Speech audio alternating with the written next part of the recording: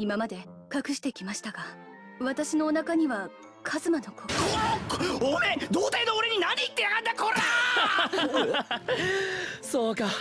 お腹にカズマくんの子が父には僕からお断りをしたと言っておきます。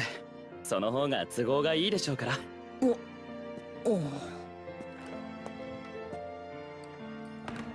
いいやつだったな。本当にダクネスを引き取ってくれよ。ふひ。